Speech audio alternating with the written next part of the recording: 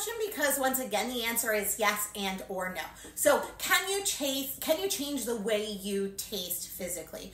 Um yes, through proper diet and exercise, your body will be at ultimate at peak health, which means typically you are going to taste the best. And certain foods, alcohol, drugs, cigarettes will affect the way you taste to your partner. Why? Because they are not good for you and therefore they are being put into your body and they get excreted through your body. And a lot of times if your partner's spunk and or uh, vulva is not smelling and or tasting good, a lot of it has to do with their diet. So you can change it if you start eating better, exercising better, taking care of your body better.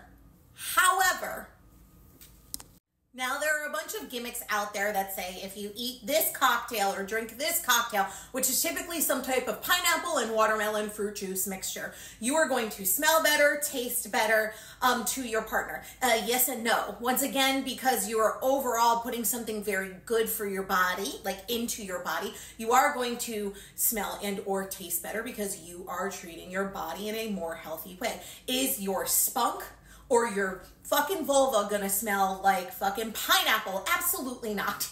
Is your spunk gonna be something that someone wants to put in a glass and drink? Probably not. It's not going to change the way you taste that much. It may taste a little bit sweeter. It may take some of, if you are a man, it may take some of that like bitterness, saltiness, like kind of bleachiness out of it, but it's still semen. It's still genitalia it's not going to taste like candy.